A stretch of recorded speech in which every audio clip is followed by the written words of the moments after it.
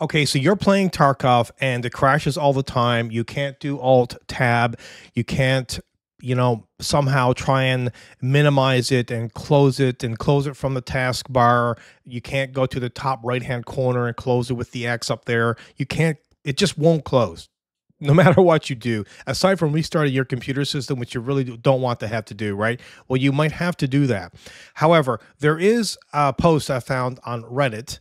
Uh, Reddit is an absolutely wonderful resource, by the way, that this person posted, and it's about pressing on the control um, Windows key, Windows key R, and then you can actually paste this in, even though you can't see it. You can just do these steps.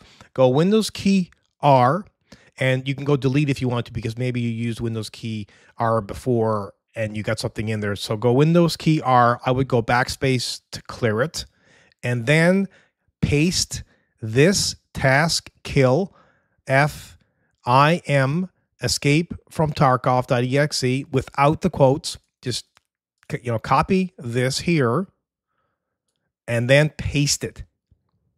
And then go enter even though you can't see the box, you can kind of see it if you go alt tab. But you know, so I'll give you the steps again. Go Windows key R, backspace, then paste in this, then go enter, and it should close down.